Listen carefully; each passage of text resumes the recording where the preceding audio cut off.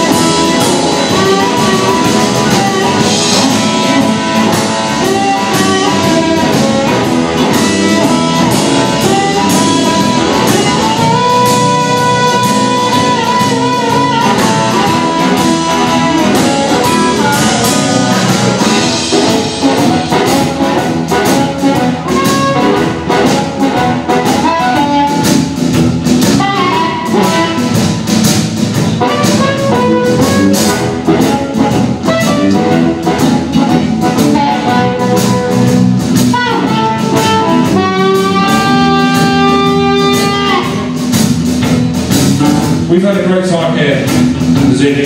Thank you for having me. I've really enjoyed the day. It's been a pleasure trying to get across some of what I do to you guys. Um, I hope you go away with something that helps you in your future playing.